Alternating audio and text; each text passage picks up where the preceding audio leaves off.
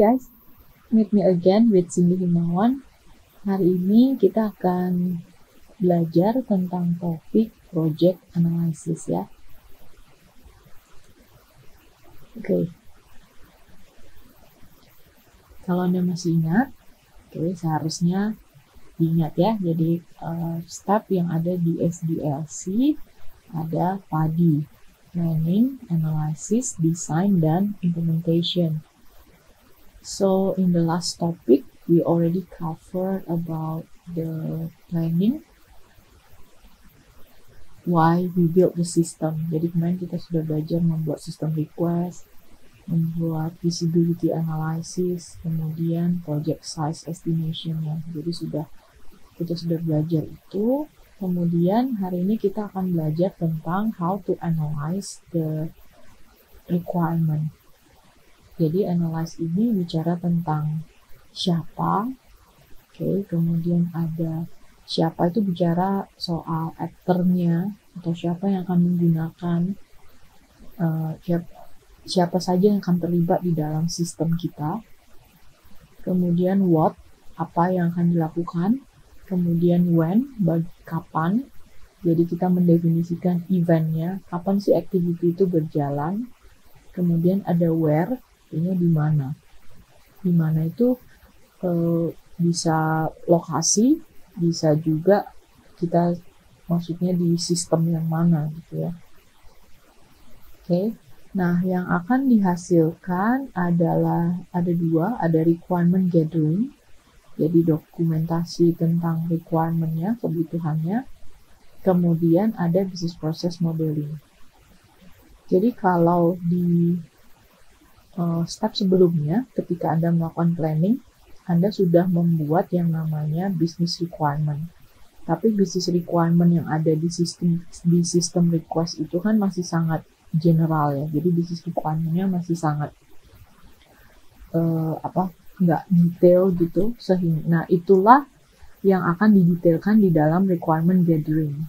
Oke, okay, tapi tetap guideline-nya adalah uh, business requirement yang sudah kita jelaskan di sistem request tadi. Jadi kita nggak perlu uh, atau gini bisa bisa jadi mungkin berubah sedikit gitu ya, tapi at least harusnya sih nggak terlalu beda jauh dengan apa yang sudah kita define di atas. Jadi kalau emang di atas requirementnya memang butuh aplikasi untuk memasukkan sales, pendapat sales dan segala macam, harusnya dari sisi analisis ini requirement gatheringnya juga pasti akan mirip-mirip ke sana. Jadi uh, uh, apa tadi tentang sales gitu ya.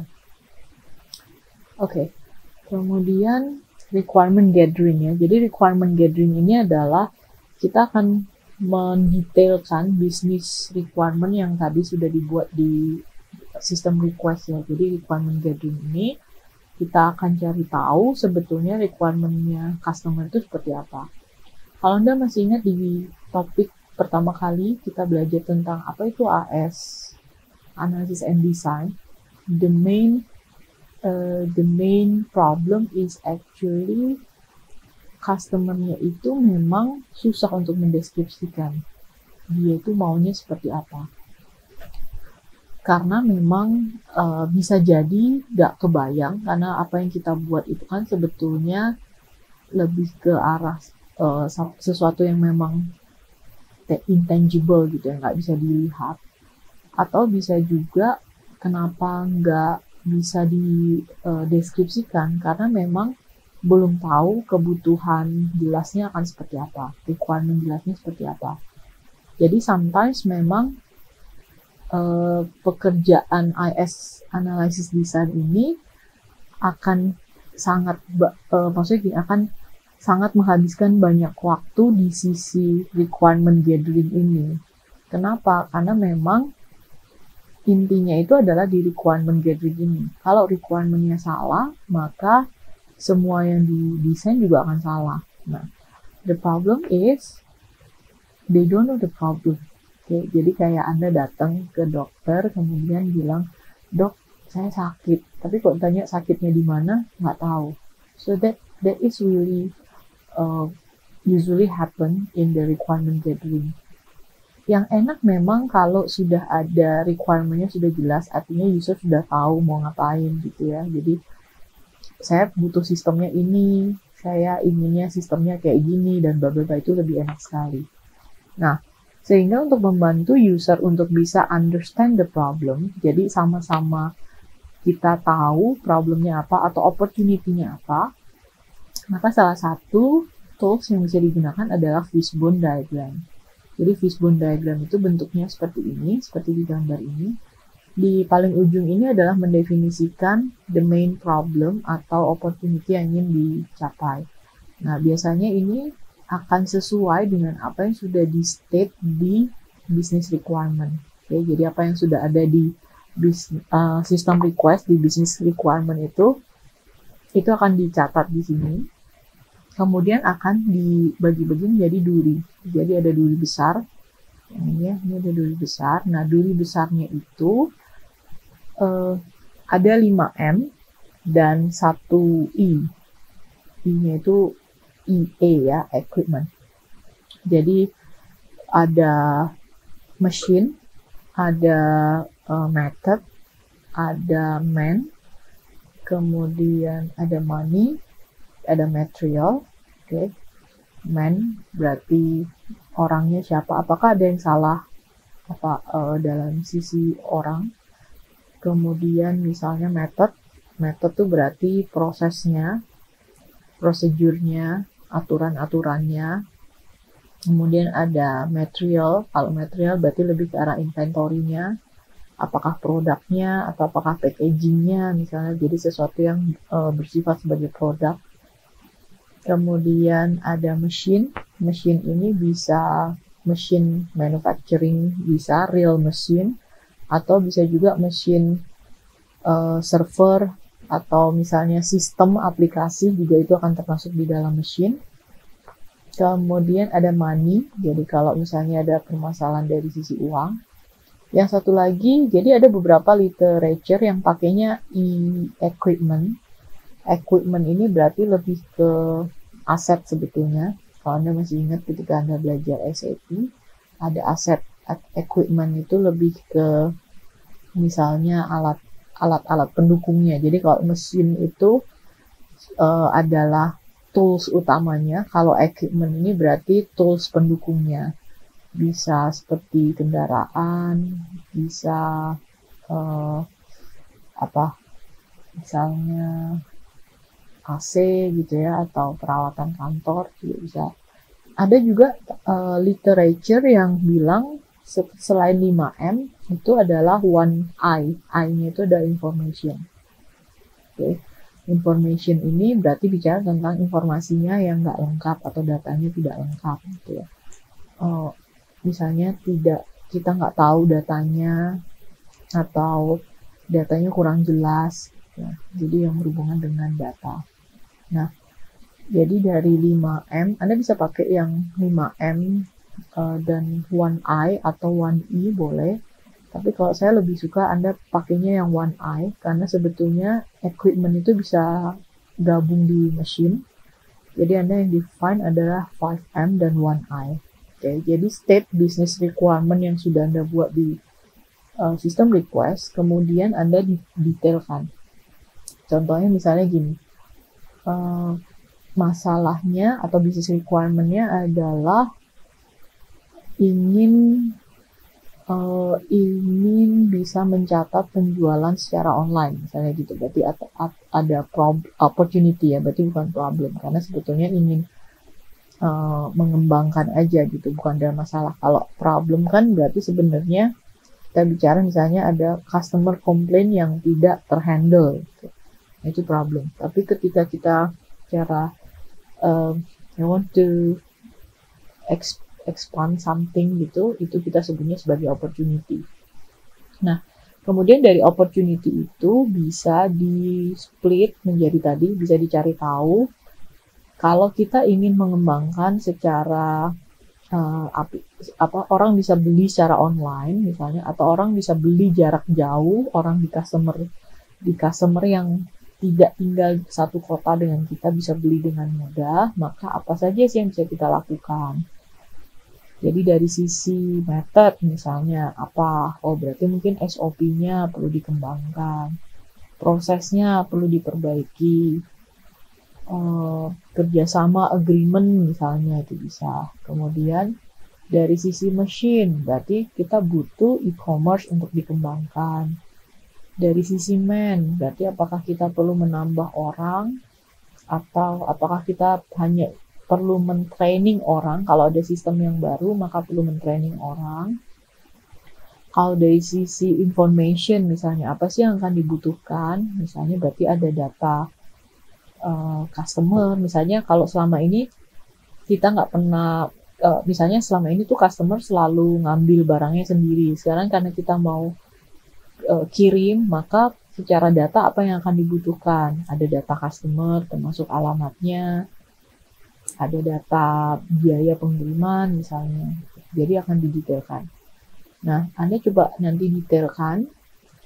Uh, tentu saja tidak harus lengkap 5M dan 1I tadi.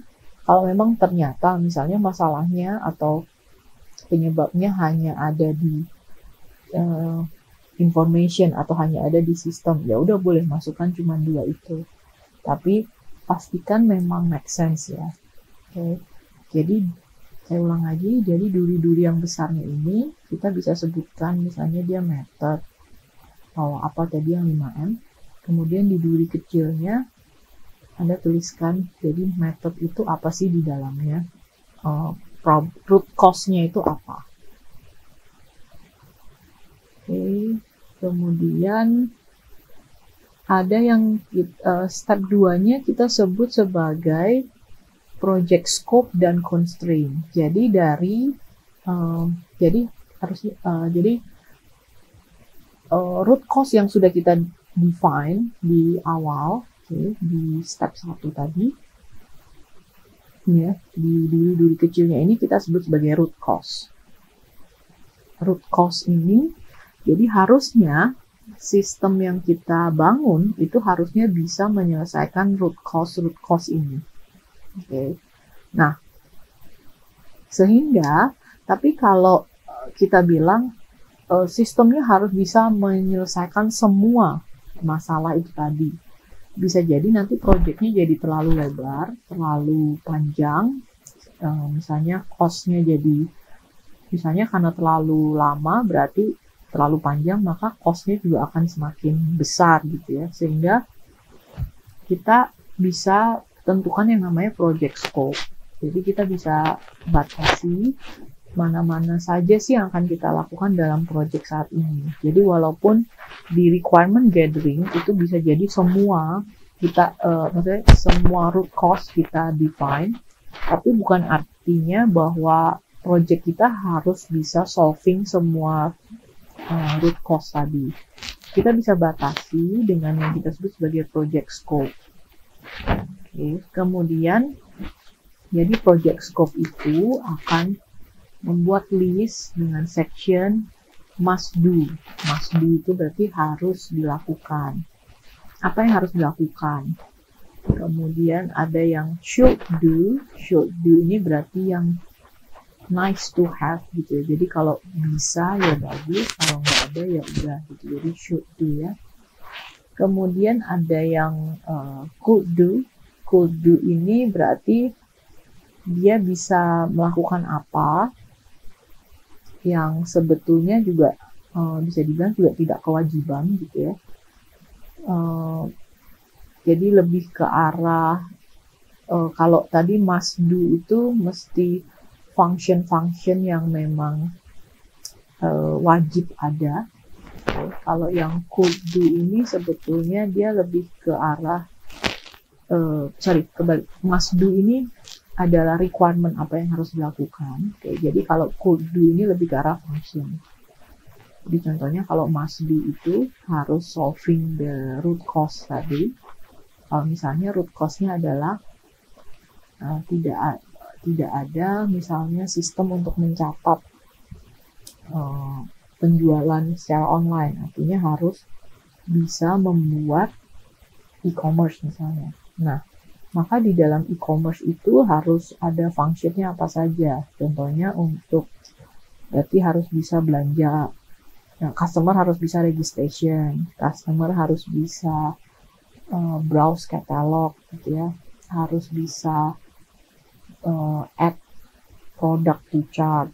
Nah, kalau could do-nya ini lebih ke function, artinya lebih kayak bisa add, edit, delete, gitu, bisa search misalnya, bisa filter, bisa sort by price, bisa sort by uh, popularity gitu ya itu bisa jadi lebih ke arah fungsionalnya kemudian won't do itu adalah apa yang tidak akan dilakukan jadi kita langsung state aja batasannya akan di mana jadi kalau misalnya tadi di root cause-nya ada 5 harusnya memang uh, ketika kita punya root cause 5 sebetulnya sistemnya belum tentu harus lima. Maksudnya must do-nya belum tentu harus lima. Karena bisa jadi uh, activity yang dilakukan di dalam sistem misalnya cuma satu, tapi sudah bisa mengcover semua root cause. Bisa saja.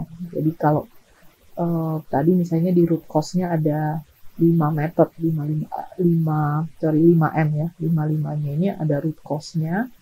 Nah, kalau misalnya sat, satu sistem atau satu functionality bisa langsung menghandle lima ini, that's good.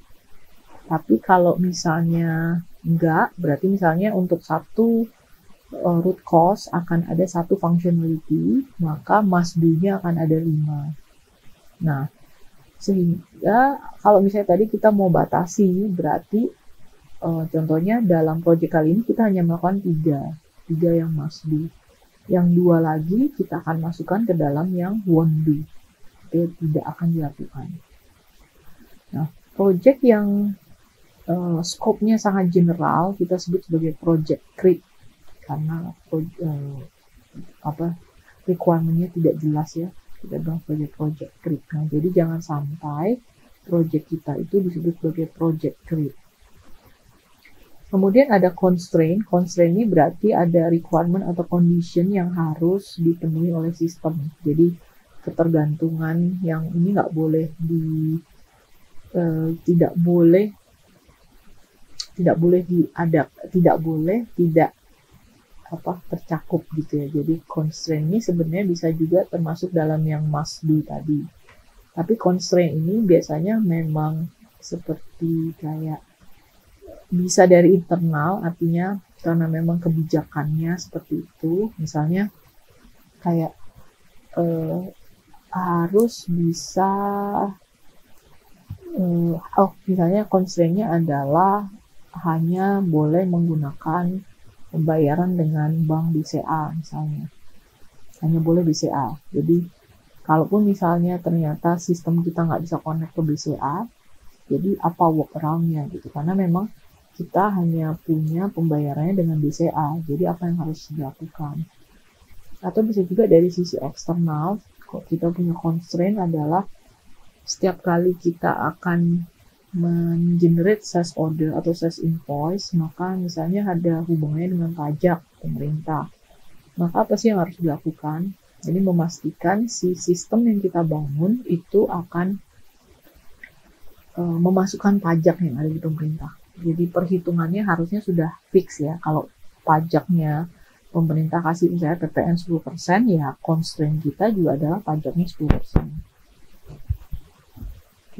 Oke. Itu tentang requirement gathering ya. Nah, kemudian apa sih yang akan kita tanya atau apa sih yang akan kita kumpulkan di dalam requirement? Jadi requirement itu adalah statement of uh, atau penjelasan dari apa yang akan sistem lakukan okay, di mana di dalamnya sebenarnya bukan bagaimana cara melakukannya ya, tapi lebih apa sih yang akan dilakukan di, oleh sistem ini kebutuhannya itu apa? Nah there are two kinds of requirements. The first one is functional functional and non-functional ya. Jadi kalau functional ini um, requirement apa yang uh, berhubungan dengan bisnis proses? Jadi lebih ke arah uh, si sistem ini harus bisa melakukan apa saja berkaitan dengan bisnis prosesnya. Jadi bisnis requirement yang ada di uh, sistem request itu akan kita detailkan dalam yang namanya functional requirements. Tapi juga ada yang kita sebut sebagai misalnya kayak uh, di sistem request itu kita juga sebut sebagai ada intangible value di mana intangible value itu nantinya bisa kita uh, linkkan juga dengan yang non-functional requirement ya. Dan mari kita lihat contohnya. Functional requirement ini akan mendefine fungsi-fungsi apa saja yang akan ada di dalam sistem. Mendefinisikan prosesnya akan ada apa saja. Nah, prosesnya akan ada apa saja di dalam sebuah uh, dalam sebuah sistem. Jadi urutan-urutannya, startnya, uh, mulainya dari apa sih gitu. Itu yang akan dijelaskan. Jadi bisa uh, search inventory, uh, kemudian calculation, kemudian ada produce. Nah kalau anda lihat di sini, yang namanya problem statementnya ini atau requirement ini harus bentuknya adalah verb kata kerja. Okay, search, perform, produce, create, calculate, uh, writing gitu ya atau checking gitu. Selalu semuanya bentuknya adalah verb has di functional requirement. Kemudian kalau di non-functional requirement itu lebih ke arah how the system behave, artinya lebih ke arah sisi performansinya. Uh, apa kemudahannya misalnya gitu ya jadi ya disebutnya dari sistem uh, performansi oke okay. nah uh, functional dan non functional ini sebetulnya jadi kalau functional requirement biasanya itu akan kita tanyakan ke usernya artinya ke customer bisnis usernya gitu ya jadi karena mereka yang tahu step by stepnya akan apa sih prosesnya akan ada apa aja. Itu biasanya kita akan tanya ke bisnis usernya. Tapi kalau yang non-functional requirements ini biasanya kan kita tanya ke orang IT-nya, artinya yang tahu tentang teknologinya. Karena misalnya gini, misalnya kita mau bikin sistem aplikasi uh, penjualan gitu. Nah, kalau kita tanya tentang functional requirement-nya ke orang salesnya, dia bisa jelasin. Jadi prosesnya itu uh, ada orang datang uh, atau orang login masuk ke dalam sistem, kemudian orang pilih barang dan segala macam dia bisa ceritakan itu. Tapi kalau misalnya kita tanya ke orang salesnya, misalnya uh, ini nanti harus pakai uh, softwarenya apa ya? Orang salesnya mungkin bingung, nggak tahu karena memang orang salesnya lebih dari lebih ke sisi bisnis usernya. Nah jadi makanya biasanya non functional requirement ini bisa kita tanyakan ke orang IT-nya. Atau kalau tidak ada, berarti kita akan tanya misalnya kebutuhannya mereka itu apa. Yang sekarang saat ini misalnya mereka punya uh, constraint-constraintnya apa. Misalnya gini, kalau ter, apakah mereka ke uh, oke okay, langsung masuk ke satu stepnya misalnya kita mau cari tentang operational. Operational ini kan untuk mendefine operating sistemnya apa, pakai softwarenya apa gitu ya. Nah, kalau mereka tahu bagus atau kita, misalnya ada orang IT-nya kita bisa langsung cari tahu. Tapi kalau misalnya mereka nggak punya orang IT yang paham, maka kita bisa suggest. Artinya mungkin kita bisa tanya, apakah eh, maunya itu yang bayar license atau yang tidak kalau misalnya mau uh, bersedia untuk membayar license, maka kita bisa kasih misalnya mau pakai Java, mau pakai SAP misalnya. Jadi kita bisa tawarkan produk-produk yang memang berlicense, artinya memang uh, user akan bersedia untuk membayar itu. Tapi kalau ternyata tidak, maka kita bisa tawarkan yang open source. Kita bisa tawarkan PHP, tawarkan Python, um, untuk aplikasinya kita, eh, untuk database-nya kita bisa pakai MySQL, bisa pakai Postgre gitu. Jadi kita bisa uh, suggest ke mereka sebaiknya apa. Nah, itulah mengapa sebetulnya uh, walaupun Anda sebagai teknik industri, at least you have to know what kind of technology. Jadi uh, apa sih yang software-software apa sih yang punya license, yang harus bayar license.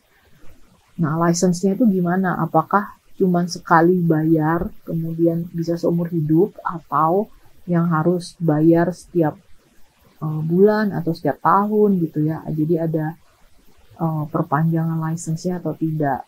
Nah, kalau termasuk harus tahu juga kira-kira itu berapa biayanya. Nah, karena ini nanti akan berhubungan juga dengan financial projection yang Anda buat. Nah, nanti saya akan cek juga konsistensinya. Jadi kalau Anda bilang misalnya Anda mau pakai Java, artinya Anda harus tahu Java itu license-nya berapa. Dan bukan hanya Java, Java itu di baliknya ada requirement-requirement lain, software-software lain yang mungkin harus bayar license lagi nggak. Kemudian untuk uh, database-nya akan pakai database apa. Nah, itu ada pakai biaya nggak?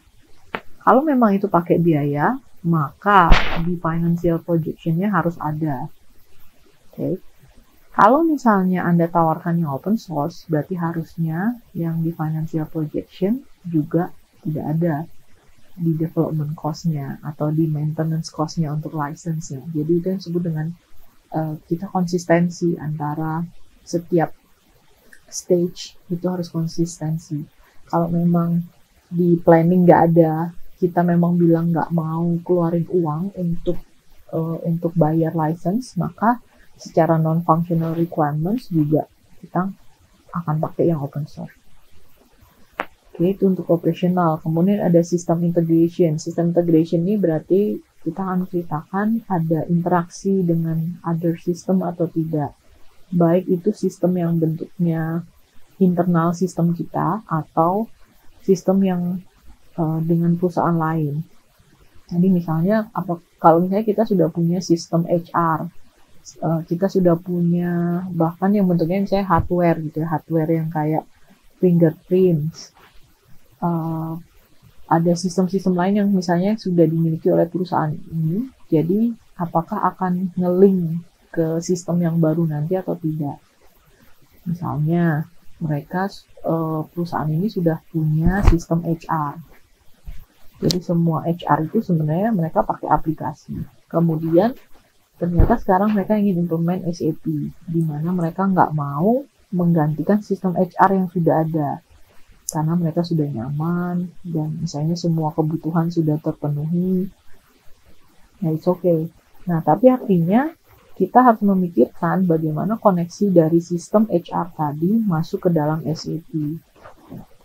Um, kemudian memikirkan bagaimana akan uh, data exchange-nya. Apakah SAP yang akan uh, ngambil datanya, artinya ditarik datanya, SAP-nya yang aktif, atau sebaliknya adalah sistem HR-nya yang aktif. Jadi kalau si SAP yang aktif artinya SAP yang setiap kali dia akan aktif nanyain mana uh, sistem HR ada data nggak? Ada data nggak? Gitu ya. Jadi seperti seolah-olah ada connection untuk kita narik data dari sistem HR sistem yang lama. Atau sebaliknya dari sistem HR yang akan narik data dari SAP atau mungkin dia yang akan uh, kirim data saja jadi kalau si sistem HR yang aktif bentuknya, maka si SAP ini hanya akan nunggu. Kalau ada kalau ada data dikasih dia terima, kalau nggak ada ya sudah dia diam aja. Ya, jadi kita akan definisikan siapa yang akan tanggung jawab untuk uh, mengambil datanya. Termasuk nanti kita akan mendefinisikan berapa lama sekali akan pertukaran data. Ini Uh, apalagi ini contohnya untuk yang ada paymentnya, yang paymentnya akan payment bukan hanya transfer tapi untuk yang payment uh, otomatis misalnya pakai OVO pakai uh, credit card misalnya gitu ya nah itu kan berarti ada koneksi keluar juga nah itu kita mesti pikirin kayak standarnya harus pakai apa sih karena kalau di finance tuh biasanya mereka sudah punya uh, standar khusus kemudian tapi sebenarnya mereka juga sudah sediakan yang namanya uh, API. Nanti kita belajar ya tentang API di waktu kita belajar tentang di teknologinya. Nah, tapi itu kita mesti definisikan. Nah, again, ini tuh kadang orang uh, user customernya tadi mungkin nggak tahu. Jadi memang biasanya harus dibantu oleh orang IT karena ini memang sudah sangat teknikal. Okay. Jadi kalau ditanya si customernya si orang SaaS nih pokoknya cuma bilang pokoknya saya pengen ini bisa dibayar pakai OVO sama GoPay. Gimana caranya? Ya nggak tahu. Siapa yang uh, siapa yang akan aktif? Berapa lama sekali ngambil datanya? Itu orang SaaS mungkin nggak tahu. Okay, so either you suggest atau Anda akan tanya orang IT-nya gitu. Kemudian ada portability. Portability ini uh, bicara tentang kalau misalnya ada perubahan environments atau new platform atau datanya berubah. Jadi contohnya untuk yang web application karena dijalankan di browser, sometimes itu browsernya ngeluarin uh, patch baru gitu. Jadi misalnya kayak Chrome dia keluarin versi baru. Nah, apakah itu bisa apakah aplikasi kita masih bisa jalan atau tidak? Android misalnya keluarin versi uh, rilis baru, apakah aplikasi kita akan uh, masih bisa dipakai atau harus diupdate apanya gitu. Kemudian termasuk kalau misalnya ada data format yang baru, misalnya tadi hubungannya dengan integration ya, kalau misalnya kita integrated paymentnya dengan BCA, terus BCA bilang saya butuh ada data yang baru, atau misalnya tadinya desimalnya cuma dua angka, sekarang kita minta empat angka desimalnya. Nah, so apa yang kan apa yang harus dilakukan kalau sampai ada perubahan-perubahan itu? Apakah sistemnya langsung crash gak bisa dipakai atau uh, bisa dipakai tapi harus diubahnya uh, sedikit atau benar-benar harus mengubah major semuanya harus diubah. Nah itu bicara tentang portability artinya dari sisi constraint kita harus mikirin, kita harus bilang bahwa kemungkinan ini akan berubah, kemungkinan ini akan ada uh, pergan pergantian data atau sebagainya, lain sebagainya. Kemudian ada maintainability. Maintainability ini kalau ada perubahan secara business requirement. Jadi kalau misalnya ada proses yang berubah, maka apa yang akan dilakukan? Kalau tadinya misalnya prosesnya adalah urutannya A, B, C. Sekarang uh, kalau misalnya prosesnya sekarang diganti jadi A D C gitu ya. Jadi kebalik bukan A B C D tapi A D C B misalnya. Nah apakah sistemnya ini bisa bisa fleksibel atau tidak?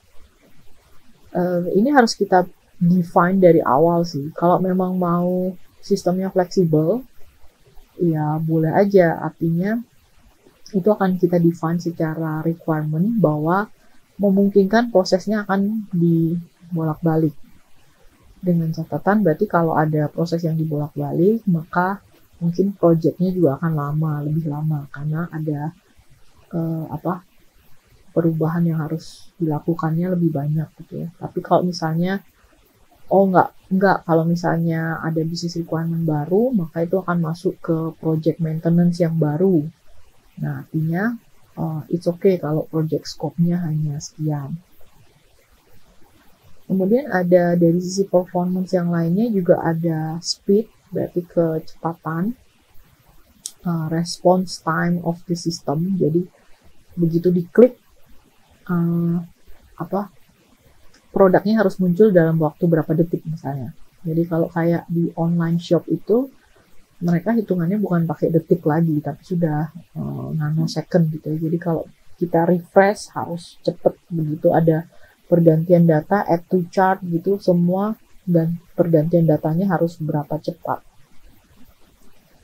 Termasuk kalau ada uh, update time gitu. Jadi kalau misalnya di belakang saya masukin uh, stok yang baru. Jadi kok misalnya lagi ada penjualan misalnya lagi flash sale gitu. Orang kan biasanya beli beli beli gitu ya penjualan lagi tinggi kemudian stoknya habis. Maka kalau di belakang saya update stok berapa lama langsung stoknya akan naik? Oke itu tentang speednya. Kemudian dari sisi capacity berarti ada berapa banyak user yang bisa masuk secara concurrent artinya kalau misalnya ada usernya, ada customernya seribu orang langsung login bersamaan, bisa nggak gitu ya. Jadi harus itu harus di state karena nantinya kita bisa kita akan mendefinisikan testingnya itu juga akan berhubungan dengan uh, requirement yang akan kita jelaskan saat ini. Jadi bisa jadi uh, kalau kita nggak state capacity-nya berapa, jadi bisa jadi waktu customernya satu, 10, 100 gitu ya orangnya uh, aplikasinya masuk oke. Okay.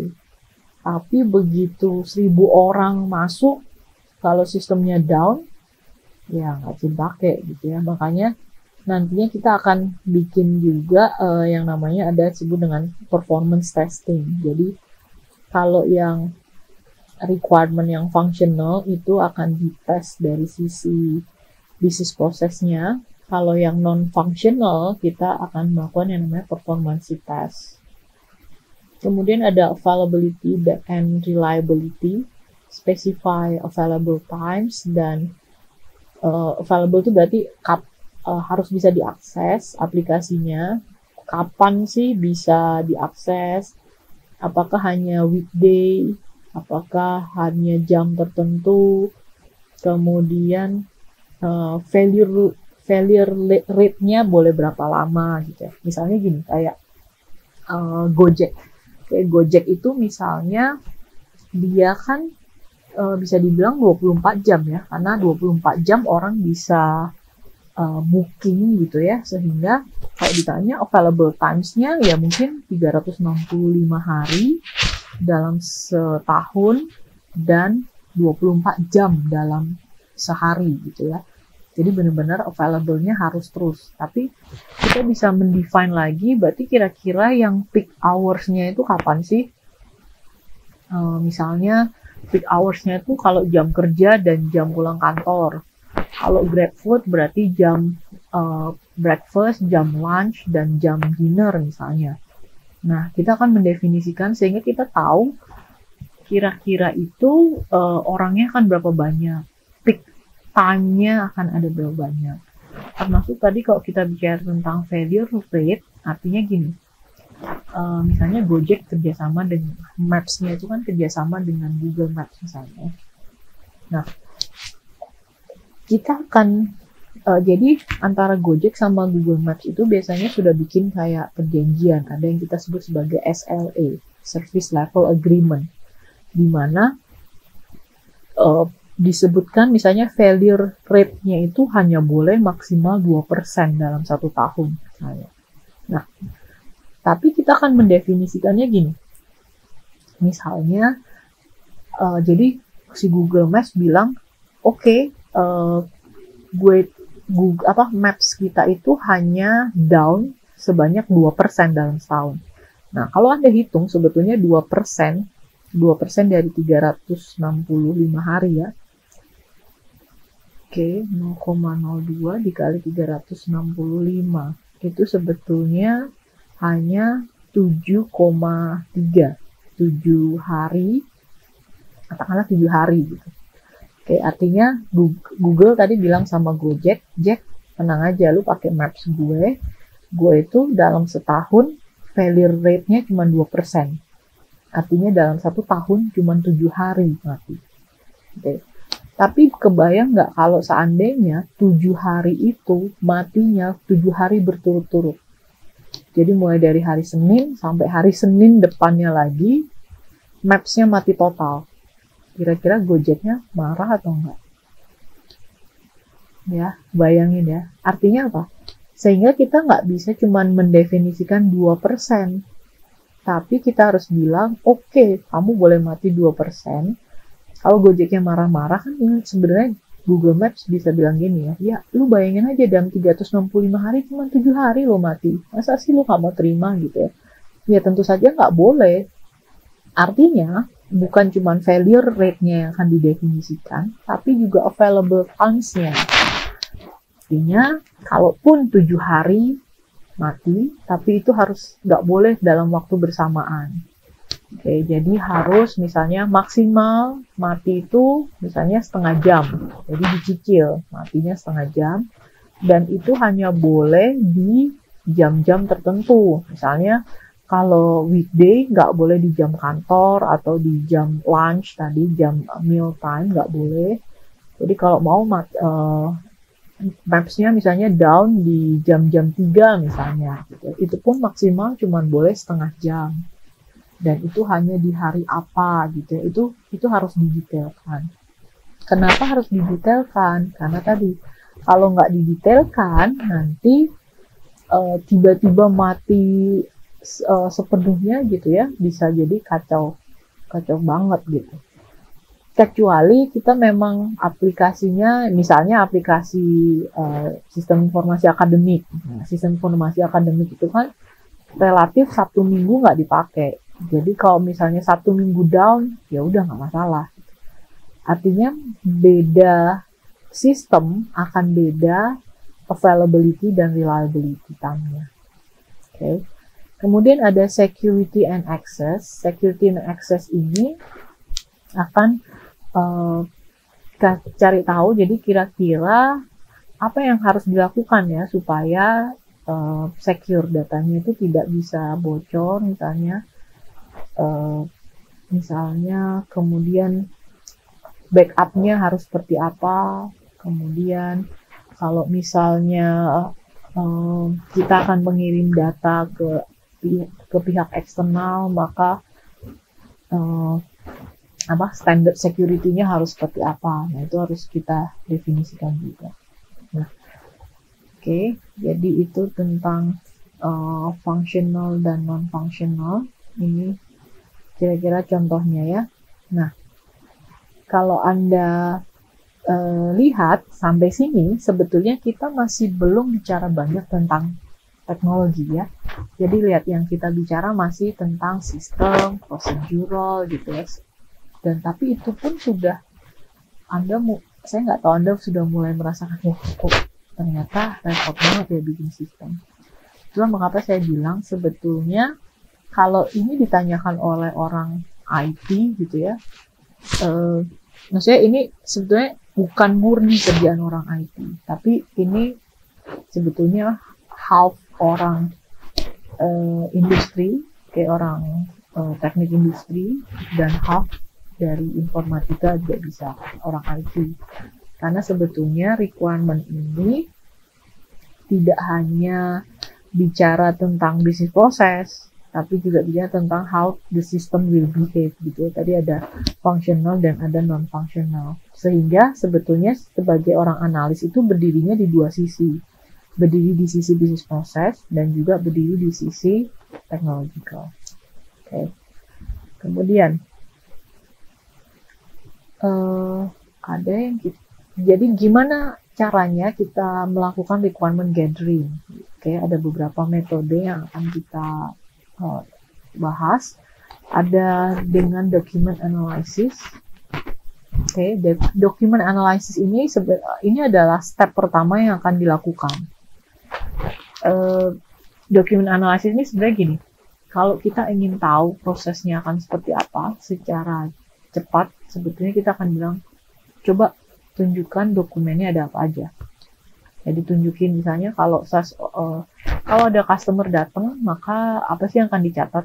Oh ini catatannya, kayaknya ada customer order, minta kertasnya. Nanti kalau mau kirim barang, ada dokumennya nggak? Oh ada, mana? Tunjukin gitu ya. Jadi semua dokumen yang dipakai uh, saat ini. Jadi sebutnya dengan SIS ya. Uh, minta dokumennya sehingga at least Anda dapat gambaran. Oke. Okay. dokumen analisis ini perlu dilakukan di awal. Kenapa? Karena kadang orang itu males untuk menjelaskan uh, atau gini. Kadang kita berpikir bahwa ih ini kok orang konsultan kayak nggak tahu apa-apa sih? Nah semuanya nanya semuanya nanya gitu ya jadi dengan dokumen analisis ini sebetulnya kita sebagai seorang konsultan kita sudah mendapatkan kayak uh, overview gitu kira-kira prosesnya akan seperti apa jadi dokumen yang bisa kita kumpulkan atau analyze itu ada yang form, bentuknya form tadi ya mencatat atau misalnya report. Ada report tuh berarti bicara tentang yang mau dilihat apa saja yang mau dihasilkan. Kemudian ada policy manual, artinya ada step by stepnya harus seperti apa, SOP-nya apa gitu ya. Jadi itu dulu yang akan kita lakukan analisis. Lihat di sini dia adalah do document analysis before interview. Ini wajib ya, ingat bahwa Anda harus melakukan namanya document analysis dulu. Jadi Anda tuh at least tahu kira-kira gambarannya akan seperti apa. Jangan langsung ketemu user, interview, Anda akan bingung apa yang mau ditanya. Oke. Okay tapi kalau Anda punya dokumen, at least Anda bisa lihat, Anda bisa tahu prosesnya kira-kira seperti apa. Kemudian itu bisa jadi bahan untuk bertanya, mulai bertanyanya dari mana, mulai ceritanya dari mana. Okay? karena kalau enggak, nanti Anda akan sama-sama bingung dengan usernya. Ingat pada dasarnya user itu bingung, dia nggak tahu uh, dia harus menjelaskan apa kalau kebetulan ketemu usernya yang sudah expert, oke, okay, dia bisa ceritain. Ini harusnya begini-begini prosesnya. Tapi kalau kebanyakan user, biasanya mereka bingung harus ceritanya dari mana. Nah, kemudian jangan lupa juga di document analysis ini biasanya kita akan punya yang namanya NDA, Non-Disclosure Agreement ya. Non-Disclosure Agreement-nya artinya, jadi kalau Anda dapat dokumen, jadi coba dicek lagi dengan perusahaan apakah dokumen ini boleh Anda bawa pulang atau tidak. Apakah dokumen ini harus dikembalikan atau tidak. Kemudian jangan sampai uh, biasa karena biasanya yang akan dikasih itu dokumen asli. Jadi pastikan uh, dokumen itu tidak keluar atau berceceran dengan sembarangan. Makanya biasanya perusahaan akan memberikan NDA tadi, non-disclosure agreement itu salah satunya adalah untuk memastikan kita tidak menyebarluaskan dokumen-dokumen tadi. So please be careful with uh, this document. Okay. Kemudian ada yang disebut dengan interview. Jadi setelah uh, kita analyze dokumennya, kemudian kita bisa interview. Ini teknik yang sangat sering digunakan oleh uh, ketika requirement. Jadi biasanya kita akan uh, ketemu dengan si usernya, kemudian kita akan tanya-tanya, ini tuh gimana bu, ini gimana pak, bisa tolong jelaskan, bisa tolong explain gitu ya. Kemudian, nah uh, pastikan anda sudah tahu kira-kira akan bertanya tentang apa. Itulah makanya kenapa Anda perlu melakukan dokumen analisis. Jadi Anda datang itu sudah dengan persiapan apa aja yang kira-kira akan ditanyakan. Kemudian jangan lupa uh, cari tahu bikin janji jadi jangan langsung interview tuh nggak boleh langsung datang pak saya mau naik naik sekarang ya enggak tapi bikin janji dulu pak saya tuh kira-kira ada yang ingin ditanyakan bapak kira-kira bisanya kapan dari jam berapa sampai jam berapa karena ingat mereka juga harus melakukan pekerjaan mereka sehingga sometimes gitu ya kita itu bisa dibilang sebagai pengganggu gitu ya karena dengan kita mesti nanya-nanya mereka, pekerjaan mereka tuh jadi terbengkalai. Makanya kita mesti menghargai, kita harus nanyanya juga baik-baik. That's why you have to learn how to communicate with the old person gitu ya, with the old person atau malah sebaliknya mungkin juga bisa jadi yang orang yang Anda tanya itu mungkin uh, yang masih muda dari Anda, maka cara bertanyanya harus seperti apa gitu. Itu artinya Anda harus belajar bisa berkomunikasi.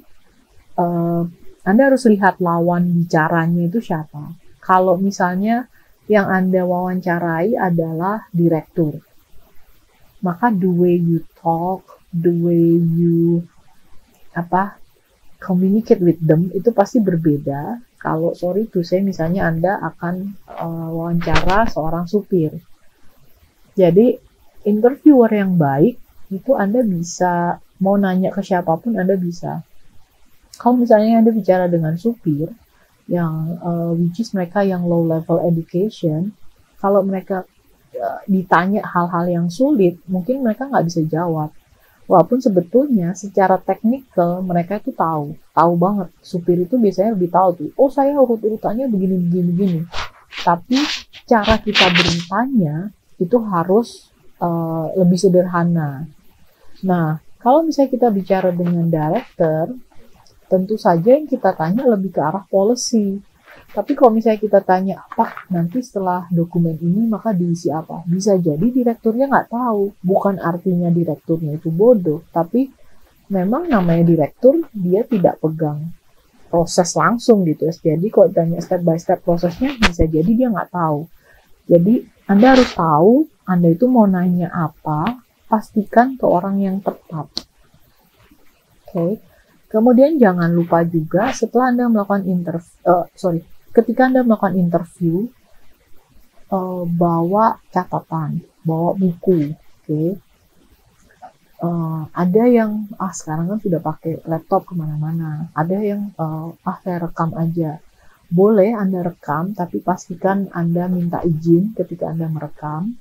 Atau misalnya kalau Anda menggunakan handphone untuk mencatat atau menggunakan laptop untuk mencatat, pastikan Anda memang fokus untuk mencatat bukan chatting gitu ya. Atau anda bisa uh, ask ask first gitu ngasih tahu bahwa pak maaf saya menggunakan laptop ya. Karena sometimes ada orang yang merasa kayak ini orang kok lagi ngomong sama gue tapi pegang handphone terus gitu. Padahal sebenarnya kan kita lagi nyatet di handphone gitu.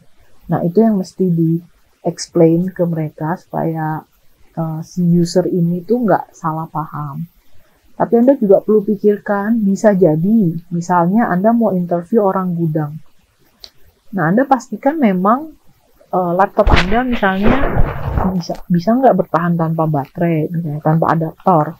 Jangan dipikir bahwa namanya gudang pasti ada colokan listrik. Ya kalau misalnya tempatnya jauh, misalnya dari tempat uh, dari tempat colokan listriknya, atau misalnya lagi nyatet-nyatet tiba-tiba handphone Anda habis baterai. Nah, hal-hal seperti itu yang Anda mesti pikirkan sehingga memang the safe way adalah Anda bawa buku uh, dan bolpen gitu ya. Jadi itu lebih uh, lebih pasti gitu ya.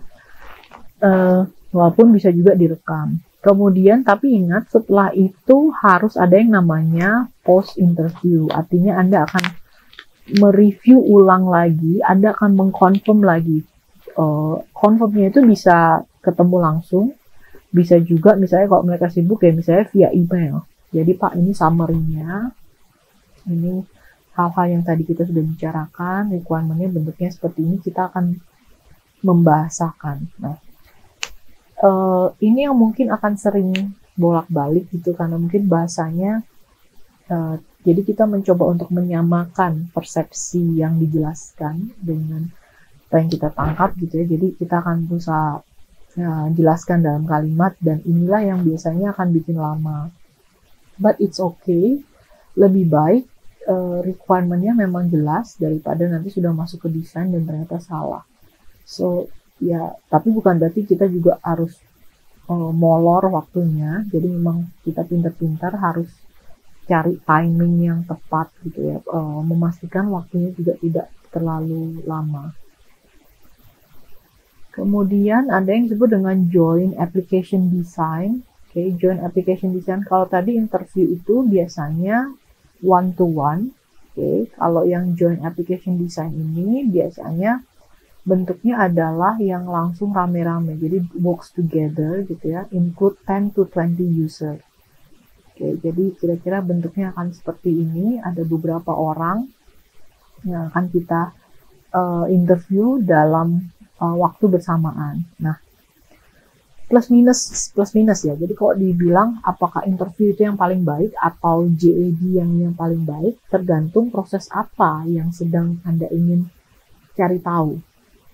Misalnya, kalau Anda ingin cari tahu prosesnya sangat detail tentang sales, yang ngapain Anda pakai JAD yang akan mengumpulkan ada sales, ada purchasing, ada menu, ada manufacturing. Ngapain? Kalau Anda memang hanya ingin fokus nanya tentang sales area.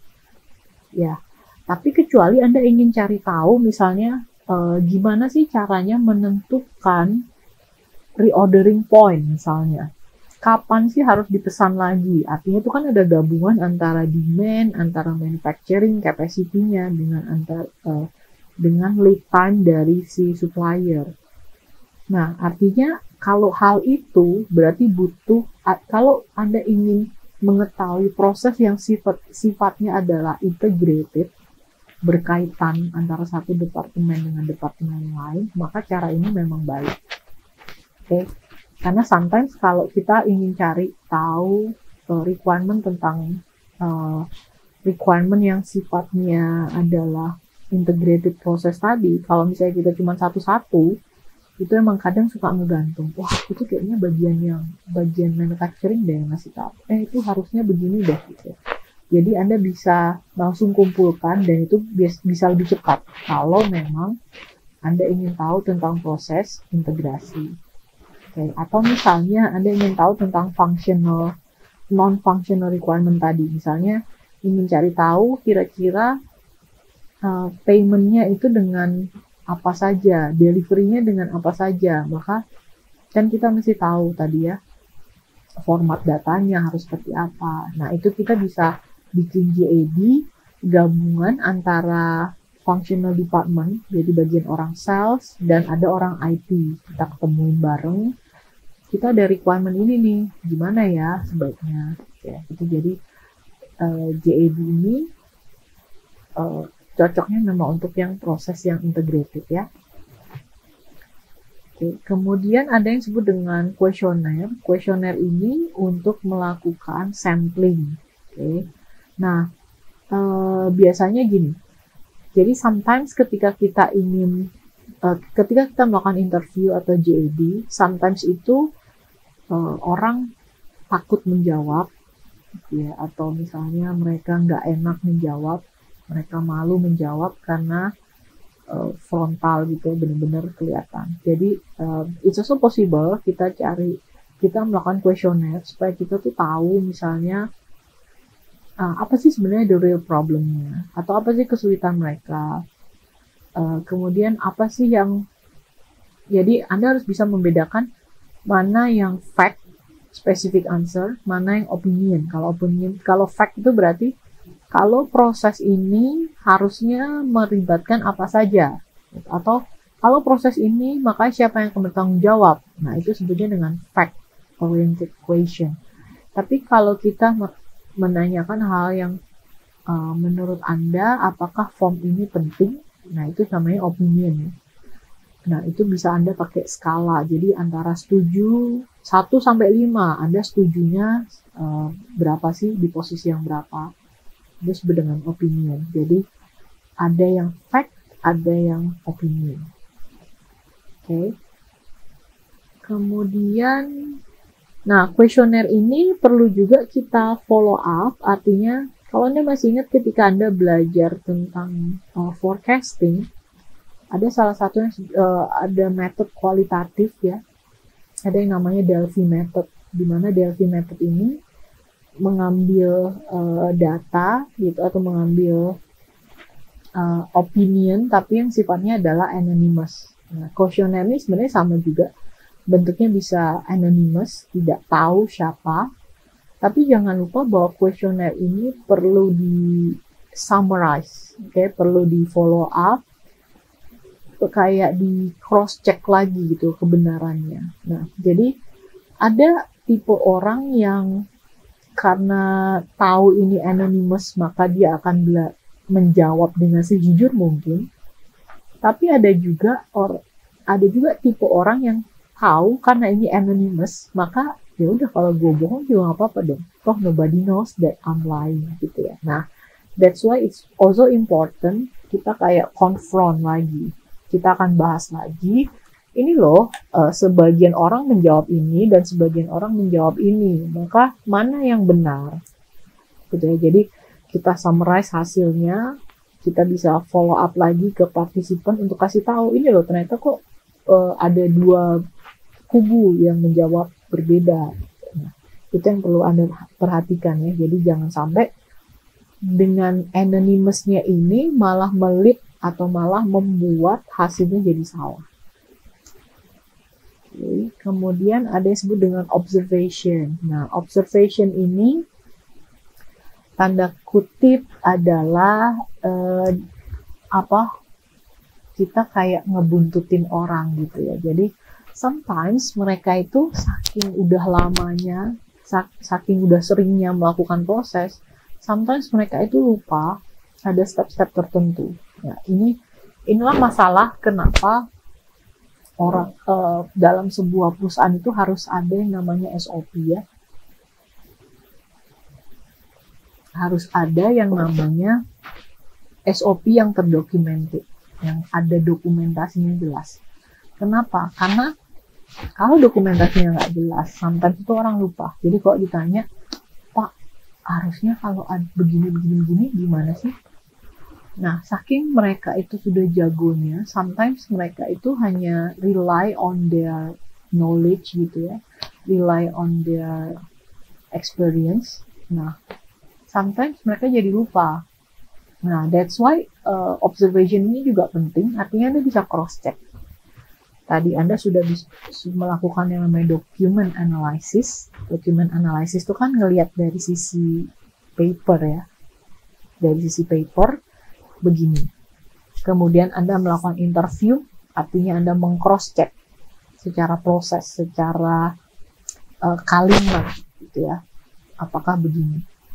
Kemudian observation itu melakukan dari sisi lapangan. Anda benar-benar turun, Anda kan cross check.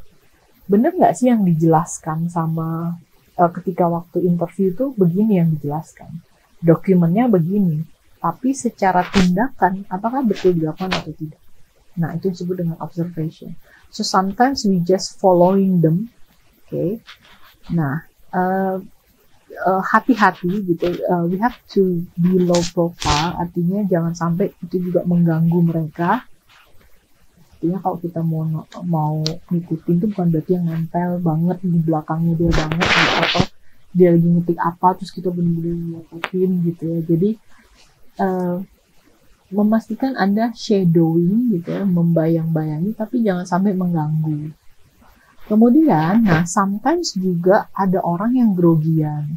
Jadi ada orang yang merasa bahwa kalau mereka diikuti itu behaviornya mereka berubah juga. Jadi kalau nggak normal lagi, biasa ya kalau anda misalnya biasanya masak santai gitu ya. Tapi begitu ada orang di belakang anda kan anda kayak jadi agak grogi gitu ya. Aduh, bener gak ya stepnya? Aduh, bener gak ya gitu ya. Nah, itu yang mesti anda validate uh, dan kemudian Anda juga mungkin uh, itu ada tekniknya. Artinya Anda ketika shadowing jangan sampai yang kelihatan banget gitu yang melototin gitu ya atau mungkin Anda bisa pura-pura sambil baca uh, dokumen pada sebenarnya Anda sambil mirip gitu ya. Sehingga orang itu nggak merasa bahwa dia tuh benar-benar dibuntutin gitu ya.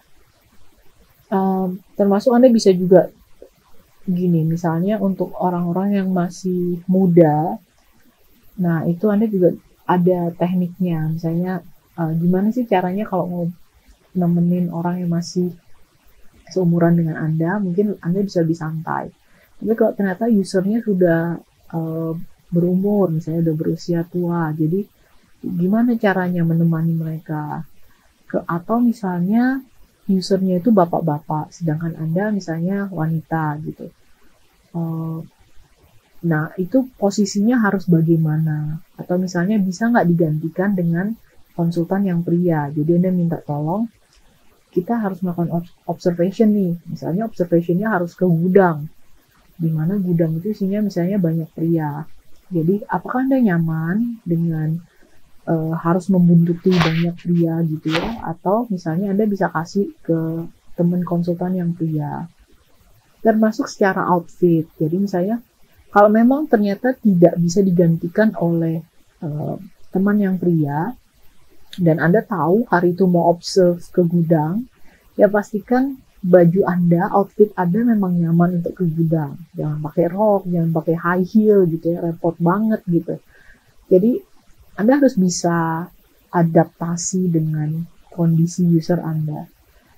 Uh, bisa jadi suatu saat mungkin Anda bikin uh, sistem di hutan, di tengah hutan, sehingga Anda harus memastikan Anda uh, apa misalnya banyak nyamuk atau ada uh, apalah gitu ya binatang. Artinya gimana caranya anda bisa comfortable dengan melakukan observation ini? Uh, terus terang memang pasti banyak cerita gitu observation ini sometimes enak sometimes gak enak juga gitu ya.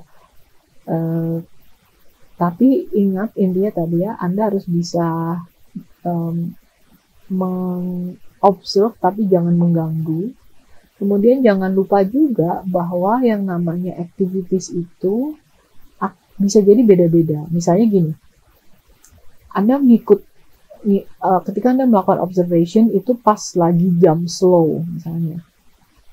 Artinya maksudnya gini, tadinya kan Anda pikir oh harus ngikutin jangan sampai saya menjadi beban gitu ya sehingga ya udah yang Anda ikutin adalah ketika si user ini melakukan pekerjaan dalam waktu slow period. Artinya lagi santai, pekerjaan yang nggak terlalu banyak Anda ikuti. Tapi artinya yang Anda observe adalah kejadian saat slow period. Nah, padahal bisa jadi ketika itu tuh sebenarnya slow period itu sebenarnya nggak normal activity. Yang normalnya itu justru yang hektik, misalnya awal bulan atau akhir bulan, atau ketika ada sales, ketika um, pengirimannya terlambat, justru jadi justru Anda harus memperhatikan ketika ada case-case yang spesial, itu prosesnya akan tetap sama atau enggak. Ketika ada case-case yang spesial, Anda justru harus take notes gitu ya, harus take notes uh, apa apakah prosesnya berubah, apakah dokumentasinya berubah gitu ya. Jadi benar-benar banyak cerita sebelumnya, banyak yang harus Anda lakukan ketika observe ini, dan gak ada skillnya sebetulnya, gak ada yang bisa dikasih tahu bahwa harus begini, harus begini gitu ya. Tapi Anda sebagai, saya yakin Anda sebagai seorang uh, teknik industri atau uh, logistician gitu ya, sebagai seorang logistik, Anda sudah tahu, Anda kan sudah tahu metode itu eh sorry machine itu harusnya seperti apa? Human itu harusnya seperti apa? So uh, saya percaya bahwa harusnya ketika mengobservasi bisa lebih uh, baik gitu ya. Oke okay, kemudian jadi ini ada uh, teknik yang bisa kita bisa membandingkan beberapa teknik. Anda bisa lihat di sini hal kalau kita bicara tentang tipe information yang akan kita dapatkan, maka kalau kita interview, kita bisa nanya mereka, interview dan JAD ini, dan kuesioner kita bisa nanya mereka inginnya, pro, mereka itu sekarang prosesnya seperti apa, dan inginnya nanti akan seperti apa. Tapi kalau di document analysis dan observation, tentu saja kita nggak tahu improvementnya akan seperti apa. Karena hanya as is saja yang kita lihat ya. Oke, kemudian depth of information, interview, uh, tentu saja lebih tinggi karena kita bisa benar-benar nanya-nya lebih detail. JAD juga, kalau JAD sebetulnya uh, bisa juga kita bilang sebagai detail.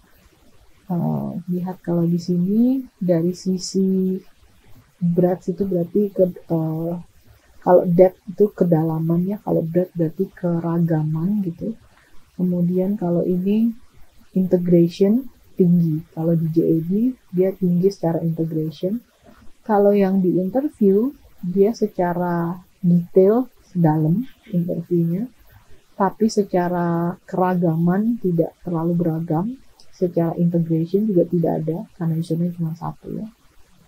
Usernya juga di uh, medium karena hanya satu uh, atau dua orang. Jadi maksudnya hanya di departemen yang sama ketika kita melakukan interview tapi kalau di JAD usernya banyak terlibat, um, banyak tipe usernya. kalau di kuesioner disebutnya juga uh, integrationnya low karena memang biasanya yang ditanya hanya lebih spesifik ke arah uh, yang tergantung dari target kuesionernya kan. Jadi karena kuesioner ini kan uh, satu arah ya, nggak bisa. Jadi memastikan bahwa siapa apa yang kita tanya itu memang sesuai dengan siapa yang kita tanyakan. Sehingga usernya juga pasti akan lebih spesifik pertanyaannya juga pasti akan lebih spesifik. Oke okay, kemudian uh, secara biaya oke okay, medium low medium. Oke okay, nanti anda bisa bandingkan lagi. Nah dalam kasus project case anda berarti kira-kira anda harus pakai tipe yang mana, teknik yang mana. Oke, nanti Anda tentukan ya pakai teknik yang mana untuk melakukan requirement gathering Anda. Oke, kemudian kita akan masuk ke business process analysis step. Jadi di proses analisis ini sebetulnya akan ada tiga step. Ada yang disebut dengan understand as is, understand as is itu tadi yang kita melakukan requirement gathering ya. Jadi tahu as is-nya seperti apa, kondisi current-nya seperti apa. Termasuk kita bisa identify improvement juga. Jadi harusnya itu sebaiknya akan seperti apa uh, requirement-requirementnya ya. Kemudian ada developing-nya. Jadi kita akan membuat to be sistemnya akan seperti apa. Jadi ada kita akan memetakan tiga current situation, as is situation, improvementnya apa itu bicara tentang requirementnya akan seperti apa termasuk non functionalnya kemudian ada to be-nya nanti akan seperti apa. Dengan sistem yang baru maka prosesnya akan seperti apa. Oke okay, nah ketika melakukan business process analysis ini strateginya ada tiga. Ada DPA DPI dan DPR ya automation improvement dan reengineering. Oke, ada automation, improvement dan reengineering. Mari kita bahas satu-satu ya. Ketika kita melakukan automation, di sini dikatakan uh, almost no changes to business process. Tujuannya hanya melakukan automation sehingga prosesnya lebih efisien, lebih cepat. Cuma itu aja. Tapi kalau ditanya apakah ada perubahan di bisnis proses, nggak ada prosesnya tetap aja sama, step by stepnya tetap sama. Oke, okay? jadi uh, disebut sebagai impact ke usernya tidak terlalu banyak, kecil gitu ya, karena mereka hanya melakukannya tetap sama, step by stepnya sama, hanya lebih cepat, hanya lebih efisien. Contohnya yang paling gampang adalah kalau BPA ini biasa dilakukan untuk misalnya mengganti dari uh, orang itu menjadi mesin Oke, contohnya. Misalnya tukang parkir. Dulu eh, ketika kita masuk ke sebuah parkir, maka ada tukang parkir yang kasih kertas, dia catat nomor plat mobil, kemudian uh, apa nomor plat apa kapan jam berapa datang gitu ya. Dia kasih, kemudian nanti di pintu keluar kita akan kasih karcis tersebut nanti si pegawainya akan menghitung oh tadi masuk jam segini sekarang keluar jam segini maka dihitung berapa gitu ya. Uh, entah itu saya sudah pakai laptop sederhana misalnya tinggal dimasukin saya pakai Excel sebetulnya sudah bisa sih. Nah ketika kita melakukan automation sebetulnya yang dilakukan adalah mengganti si tukang parkir tadi ya tukang parkir tadi diganti. Jadi nggak ada orang yang berdiri di pintu masuk. Karena begitu masuk kita hanya pencet mesin keluar. Uh, keluar uh, plat mobil misalnya atau at least cuman keluar nomor uh, jam berapa datang jam berapa masuk. Tapi uh, kemudian di pintu masuk sebetulnya prosesnya akan sama. Karcisnya tetap harus kita kasih juga ke ada pegawai gitu di situ pegawainya mungkin bisa scan barcode atau dia tetap masukkan manual dihitung keluar struknya. Nah itu kita sebut sebagai automation karena sebenarnya secara proses nggak berubah, tetap urutannya sama. Yang tadinya ada tiga step, ya tetap tiga step hanya berubah yang saat tadinya dilakukan by human sekarang dilakukan by machine sehingga bisa lebih cepat nah itu aja okay. tapi kalau ditanya apakah itu sudah improving belum. Karena sistem hanya melakukan automation. Kemudian yang kedua ada melakukan improvement. Improvementnya artinya bisnis prosesnya harusnya diubah dong. Ada sesuatu yang berubah yang uh, sehingga uh, bisnis prosesnya ini bisa lebih baik. Nggak cuma lebih cepat tapi kalau bisa lebih cycle time-nya bisa lebih ringan lebih cepat gitu ya lebih prosesnya bisa lebih ramping jadi kalau tadi di automation stepnya ABC ya tetap ABC bedanya hanya menjadi mesin kalau di improvement bisa jadi kalau tadi stepnya adalah ABC, sekarang stepnya jadi A dan C misalnya. Oke. Nah di bisnis proses improvement ini misalnya sekarang kita bisa uh, misalnya bayar yang namanya pakai uh, tap e-toll gitu ya. Jadi sekarang benar-benar nggak ada karcis misalnya. Oh sorry, eh, kalau yang sekarang misalnya kita bisa pakai karcis gitu tapi tetap pakai karcis jadi untuk mencet keluar karcis nanti di pintu masuk kita bisa bayar nggak cuma pakai cash tapi kita bisa pakai e-tol kita bisa pakai debit gitu ya sehingga nggak uh, perlu cari uang kembalian gitu ya karena kalau tadinya kita masih pakai uang cash ke kemungkinan harus cari kembalian dan segala macam kemungkinan uh, salah menghitungnya gitu ya tapi kalau kita sudah cashless, artinya uh, ada improving gitu ya. Bisnis prosesnya dari sisi keakuratannya akan lebih akurat. Oke. Okay. Nah, uh, dalam sisi hal ini pasti ada yang berubah karena user misalnya sudah harus berubah, berarti dia mesti siap-siap harus bawa cash, harus bawa e-tol, harus bawa kartu debit misalnya. Nah, tapi ada yang lebih uh, banyak yang lebih berubah sangat berubah adalah bisnis proses engineering. Nah dalam kasus ini bisa jadi totally berubah artinya udah benar-benar masuk nggak pakai karcis jadi bisa jadi uh, pakai uh, kita pakai aplikasi gitu misalnya kita langsung atau misalnya kita pakai e-tol yang paling gampang sekarang pakai e-tol ya kita tap e-tol keluar tap lagi e-tol Artinya kita nggak perlu pakai karcis lagi. Ngapain pakai karcis? Buang-buang kertas. Kita mesti uh, belum lagi nanti kertasnya bisa hilang gitu ya. Tapi kalau kita pakai e-tol itu lebih mudah. Atau bahkan yang lebih hebat lagi sekarang kita sudah pakai apps, parking apps.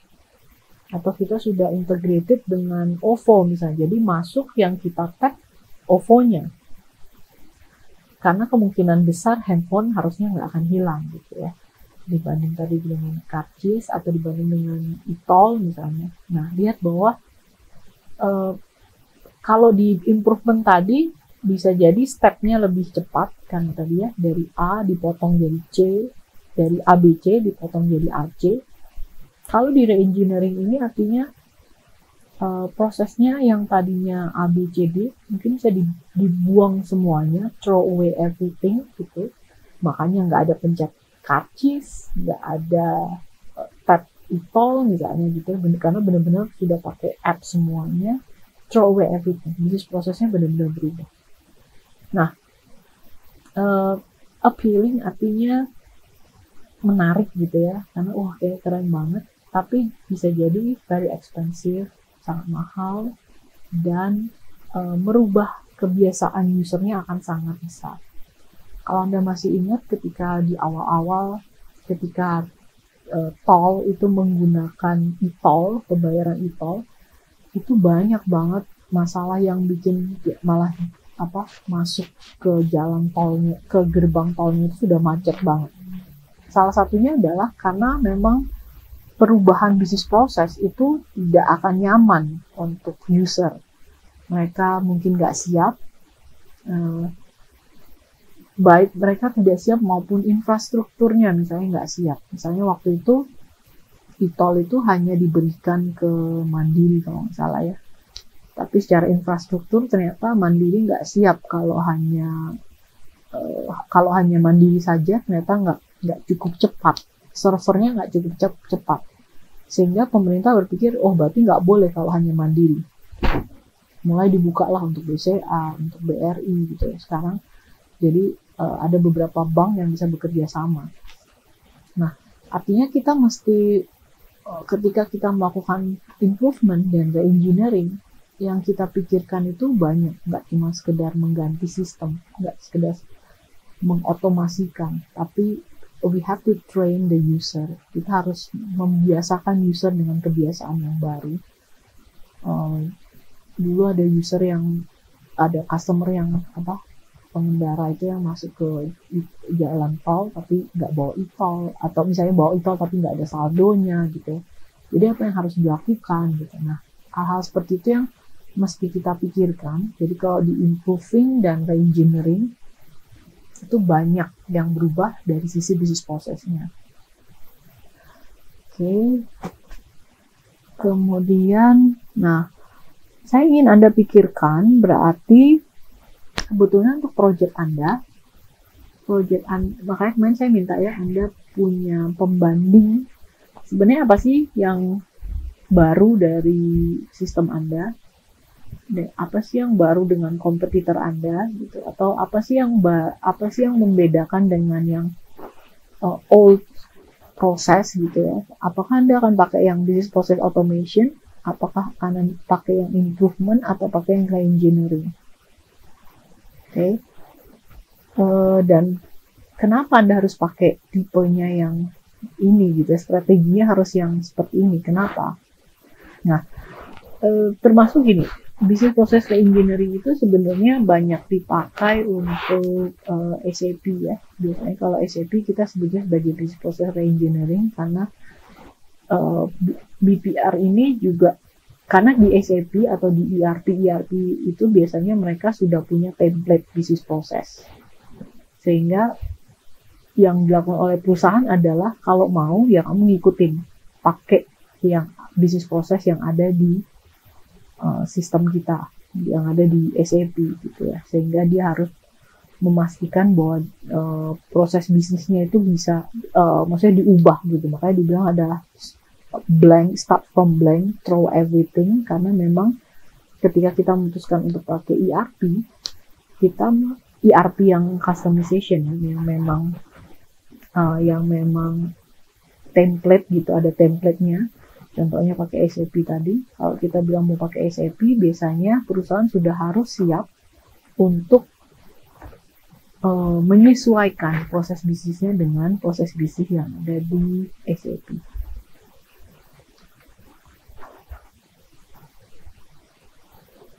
Oke, okay.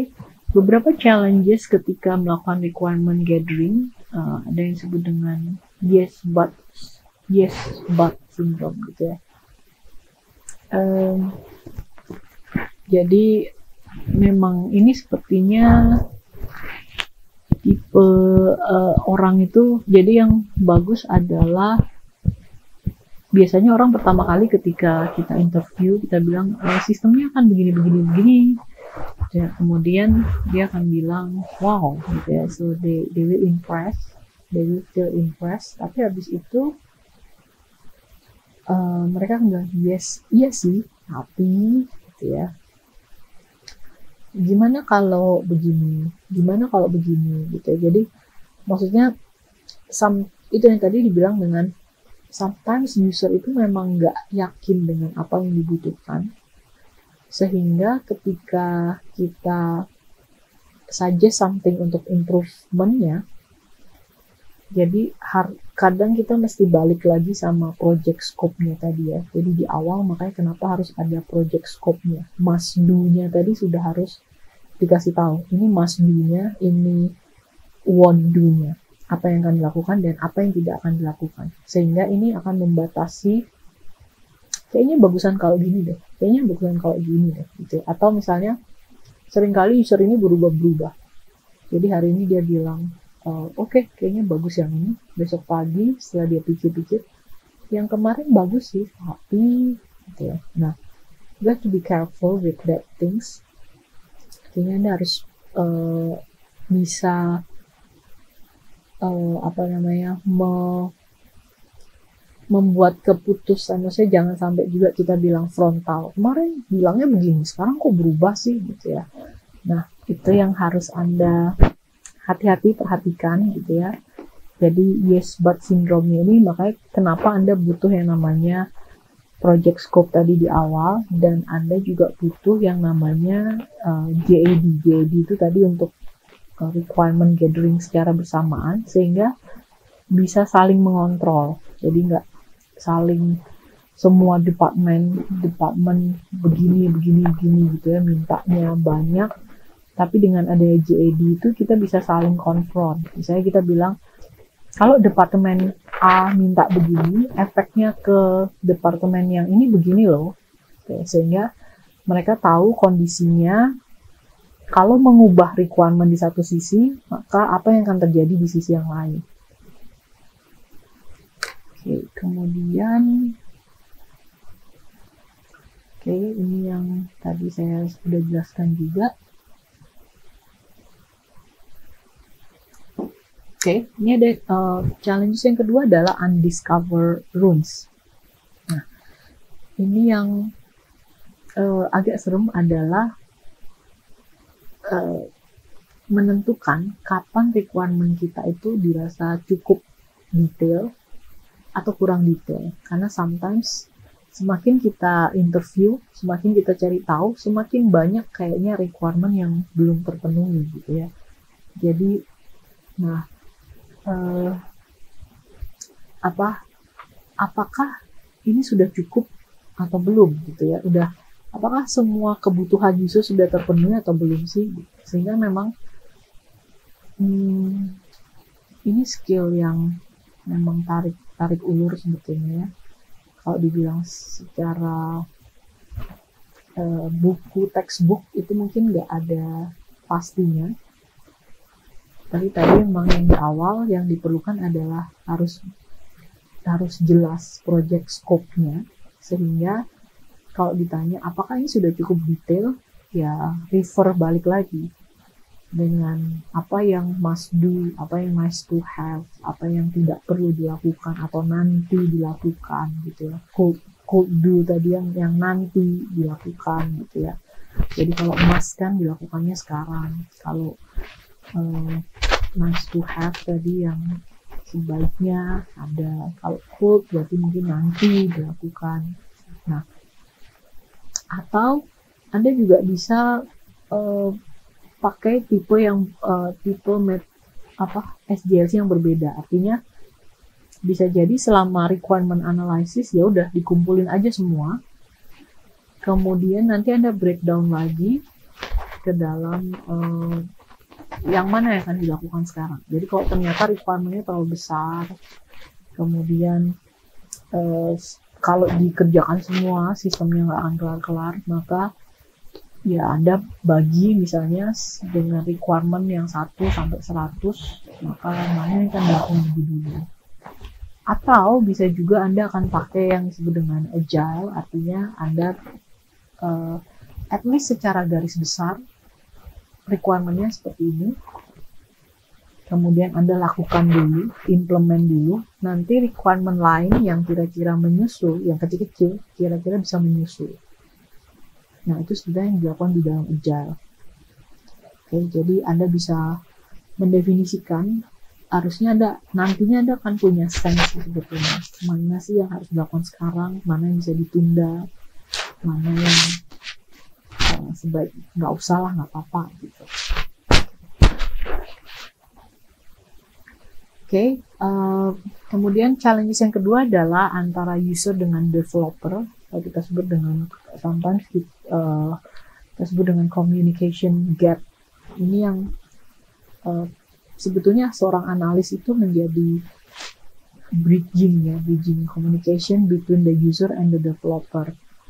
Jadi sometimes user tadi ke, kesulitan yang pertama adalah user aja tuh susah untuk di, untuk ceritain mereka butuhnya apa. Kemudian ketemu dengan orang IT yang mereka bicara sangat teknikal. Ini nanti pakai operating sistemnya apa? Ini nanti bisa ngeprintnya uh, kecepatannya berapa dibutuhkannya gitu-gitu ya atau ini nanti integra integration sistemnya akan seperti apa dan bla bla bla. Itu yang benar-benar yang uh, it's saying that they typically from different worlds antara user dengan developer dengan programmer gitu ya. And mereka speaking different language dan they are seeing in different overview. Jadi kalau yang user mikirnya adalah dari sisi bisnisnya si programmer melihat dari sisi technicalnya jadi sometimes memang uh, misalnya gini, biasanya user akan melihat bahwa ini kok jelek banget tampilannya. Si programmer melihatnya ini tuh udah ini udah yang paling bagus. Karena emang ada keterbatasan programming tertentu misalnya yang uh, posisinya harus seperti ini. Atau misalnya uh, prosesnya harus seperti ini. Karena kalau prosesnya nggak seperti ini, teknologinya nggak bisa misalnya gitu ya.